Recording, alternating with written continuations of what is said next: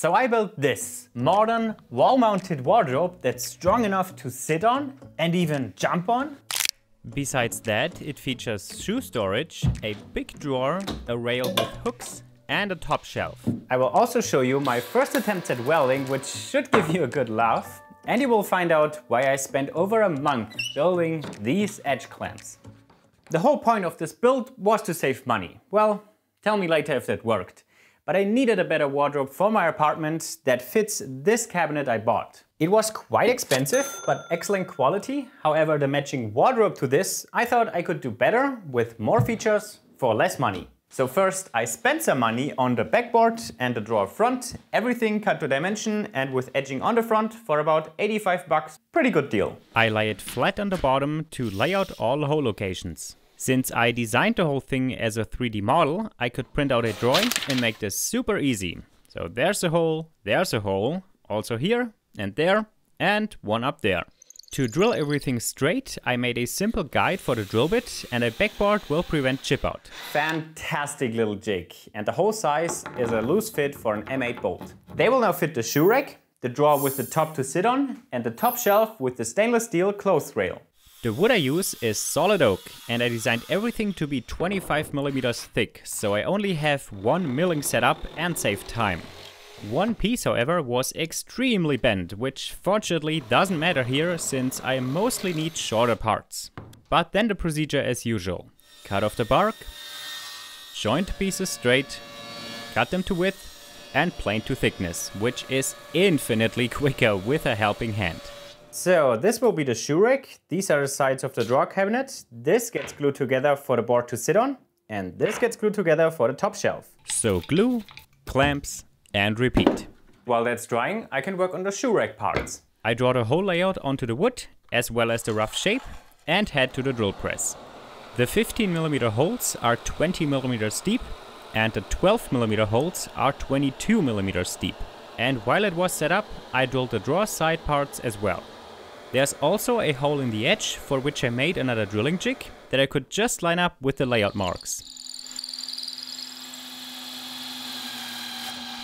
And without a jig to final depth. Turned out very precise.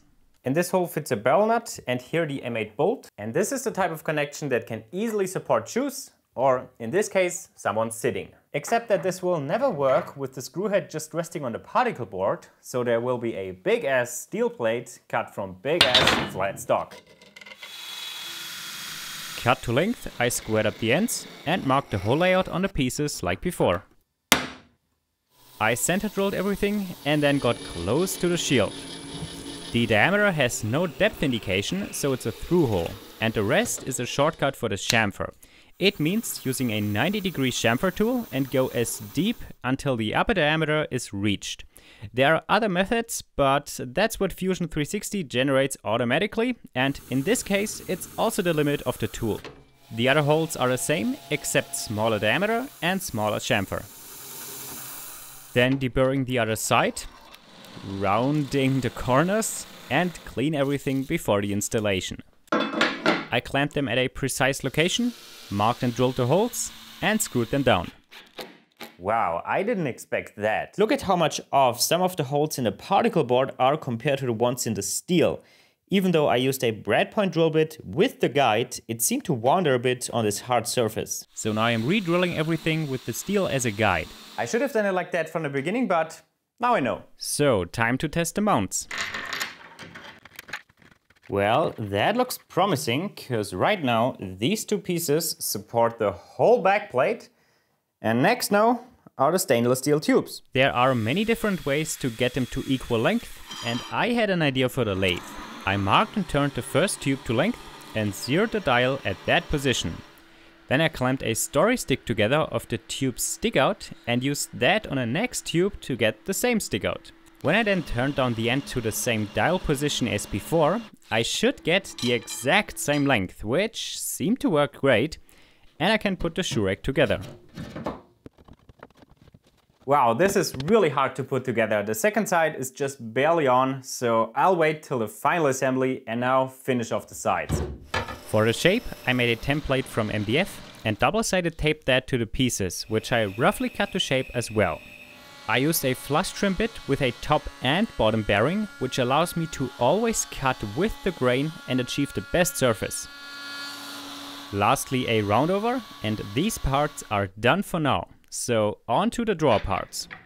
I've already got the sides, the top is still in the clamps, but it should be dry by now. That looks good, and I left it a bit thicker to cut it to final thickness after the glue up. It obviously doesn't fit through my planer, and there are many other ways to get it flattened to thickness. I could set up the automatic flattening jig I recently built, but I go the easy route and use the CNC router. This is the max length this machine can do. Actually, it's too long. It only works because the flattening bit is big enough to slightly overlap the machining area, and yet still I got these little bits left over. But one manual pass takes care of that. And on the first pass, I had it shimmed on two corners to take out some twisted head. The second side then without shims, but that's boring, so let's skip right to the top shelf, which actually was too long. But that gets removed when cutting to final length, which I also did with the sitting board. Part of the design is to make this stronger than it looks like. So from the outside, the sides appear nice and thin, but they're actually pretty thick and strong. To make that happen, I need to cut some big rabbets into the edges, which requires multiple passes up to the final depth. The same for the board, except here it's on three sides and slightly different dimensions. The jig I use is a router screwed to a big base plate with slots and a fence. It can do a lot of things and I have a separate video if you want to know more. By design, these surfaces are flush and here is a slight overhang.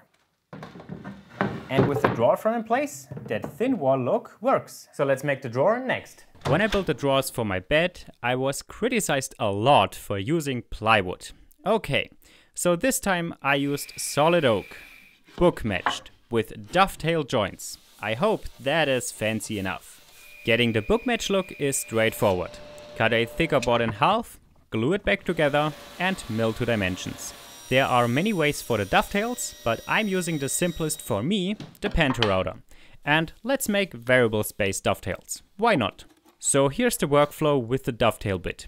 I set the overhang, then the depth of cut, plunge forward and lock it there. Then I cut straight down through the template center, creating the tails. The tape prevents chip out. Then switching to a straight bit and a taper template section to cut the pins. Their size is adjustable and at first I wanted them a bit too big to sneak up on the fit. By sliding the template frame down, it'll cut a little more material away until it's a good fit. From there it goes quick and there's my box. The bottom panel is an old piece of plywood that I sanded nice again, cut to size and cut grooves in the sides for it to fit in. The joinery fits a little too loose, so there's a bit of movement and that makes it hard to square it up. But I know the bottom panel is square and cut to perfect size, so I can use that to make the rest square as well. Now it's ready for the glue. I spread a good amount on all joints to fill in the tiny gaps removed the little squeeze out at the bottom and clamped it. One band clamp and some normal ones. Checking squareness from corner to corner seems to be spot on, nice. Then I could pop out the bottom, remove the inner tape with the glue squeeze out and glue the bottom in for good. Clamps all around with some pieces to spread the pressure and while that's drying I can mount the slides. Instead of transferring the hole positions with a drill bit or something, I use the dimensions that come with the slide. Much simpler and more accurate.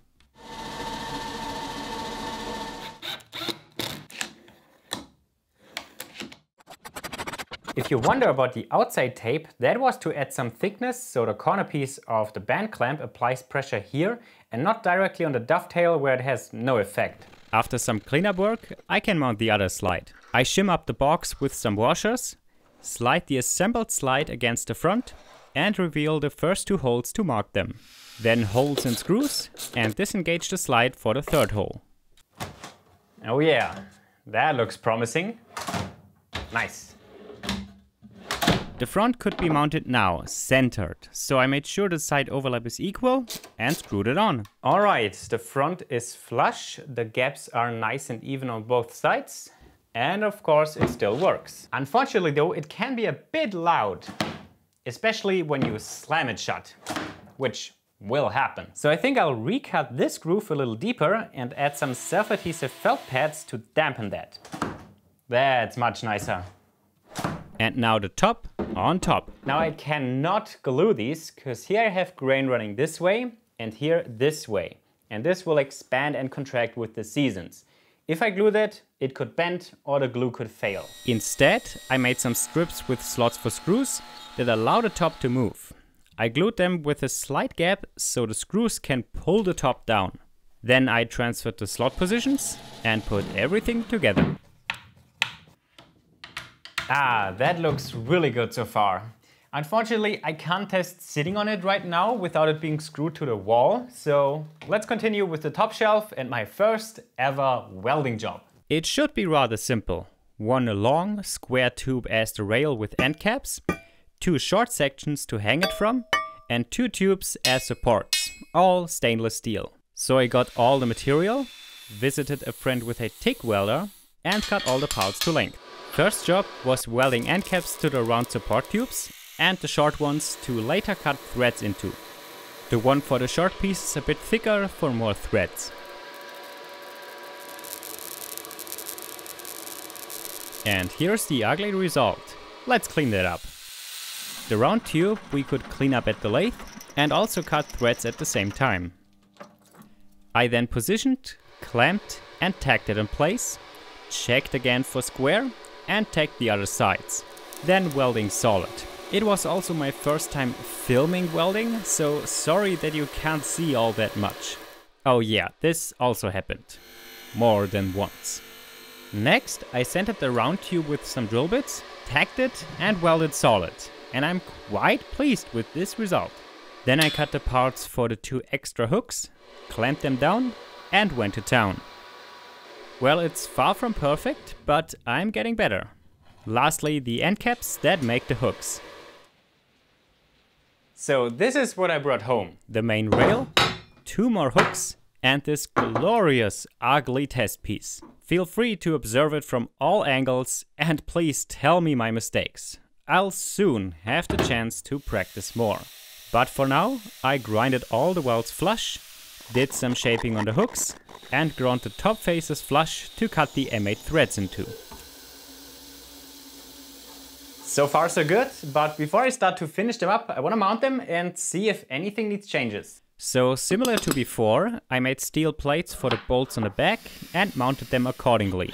The top shelf gets the same holes drilled for the barrel nuts and then I can mount it.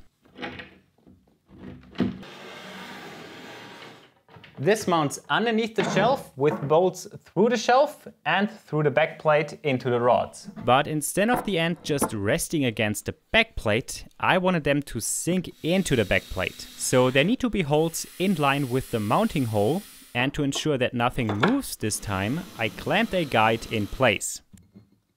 The weld had to be pretty accurate for both rods to fit. Let's see. Ah, almost. But I can just bend that in, and then it fits. Wow, what a great fit. Here it's touching the shelf. Here there's a tiny gap which I can press together, that won't matter. And the shelf is square. I would have never expected my first weld being this accurate, but I'll take it. And there I could transfer its position, mark the hole locations and drill them with a big chamfer. Now that little twist was bugging me, so I tried bending it back. Much better. Then I went on to finish the steel. First with a sanding disc to remove all the stains and grinding marks. And then I switched to a flap sander to smooth out the rest and give it a brushed look. Where the grinding directions meet, I covered up one side and got a sharp transition. The smaller pieces I could do stationary and here the grinding marks meet at a 45 degree angle. Quite a change. Some spots I had to do manually as well as the round parts. What? I'm quite pleased with the result, but still far from good.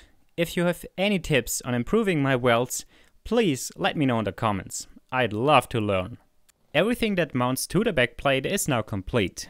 Time to finish up the backplate itself with the frame. Together with the other wooden pieces, I also prepared this long one for the frame that I now need to mill flat and cut into strips.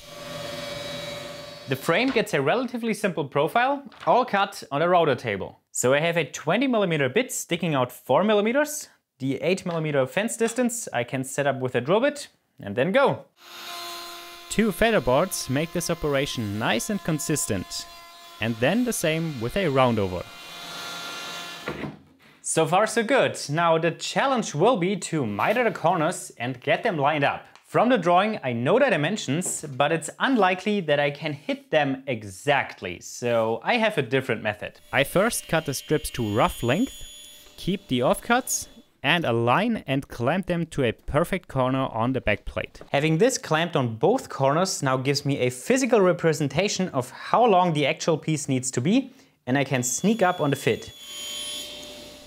And after a few cuts, the alignment is just perfect. For gluing and clamping this, I thought I'd build some edge clamps as a quick side project. Well, that escalated a little bit, turned into a huge project with two collaborations. There's the video about that. And on top of clamping to the edge, I also need to clamp down. That's quite simple with some tiny wedges. So then I proceeded with the glue.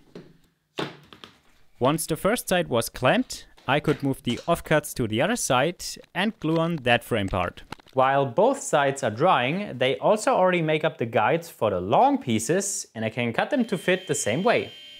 If you wonder about the jig I used for the miters, I've got a video about that as well. When clamping, I'd always squeeze a wedge in first and then an edge clamp. And that's why I built all these clamps. At this length, you just need to spread the clamping pressure. Of course, there are other ways, like with a bar clamp and a wedge, but with this edge overlapping top and bottom, these were just so convenient. And that's the frame done. Looks much better already. Now it occurred to me that this whole thing is gonna be quite heavy, about 50 kilos combined. And I'll hang this to the wall, so that needs to be done properly as well. Four of these 8mm bolts with a thick washer should do the trick, and I'll put two of them over the top shelf where it's too high to see them, and two underneath the drawer where you also can't see them. And on the back side needs to be a spacer, the thickness of the frame overlap, so the backplate doesn't get crushed when I bolt it to the wall. And with that, it's all ready for the final touches. Which is rounding over corners, sanding, and finishing with an hard wax oil. The frame I finished sanded before gluing, cause sanding now would be a nightmare. Now assembly time. The shoe rack needs a lot of force and I pushed it up to the right distance, front and back, put in the nuts and screwed it on. Yeah, should be strong enough for shoes. Or a tank. The drawer sides now get a bigger piece of felt and with the roundover now, the overlap design looks quite good. Lastly, the top shelf with the clothes rail and the hooks. With these barrel nuts, the whole assembly was super simple and everything is now rigid. I like that. I liked it so much that I had to build something else with it. This beverage crate rack for my friend as a thanks for the welding. Let me show you. I milled some more leftover oak into square pieces and went to the PantoRouter for the joinery.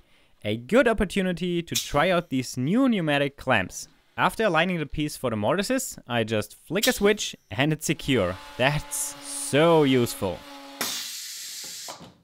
And the second setup for the tenons is just as fast.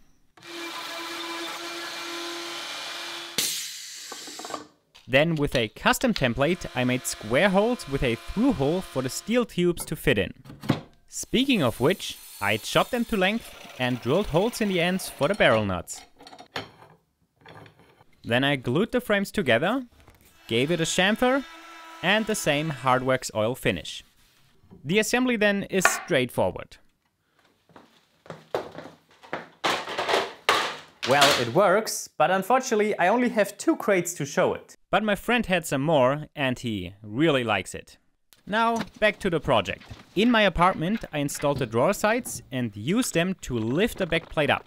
Once positioned, I could use the backplate itself as a template for the hole locations, which I then drilled for some suited wall anchors. Fully assembled, we lifted it back up and screwed it to the wall. Okay, it's all mounted and the question is, can I sit on it? I can, oh yeah. Why so careful? It's strong enough to jump on. Medium tall shoes fit on the shelf, smaller ones beneath, and tall ones in front. By the way, these are not mine. The drawer houses caps, gloves, and similar, and on top is a good space for helmets. Some of the hooks are a bit useless now, but this wardrobe might be mounted elsewhere someday, and symmetry just looks better. The rail spacing is designed so the hangers can never reach and damage the back panel. And there it's done. But did I save money? Well, just materials, yes. Considering the work, no. But then I also got this video. Let me know what you think, even if you don't like the design. It's definitely an upgrade, but let's make it realistic. You all know that's how it is.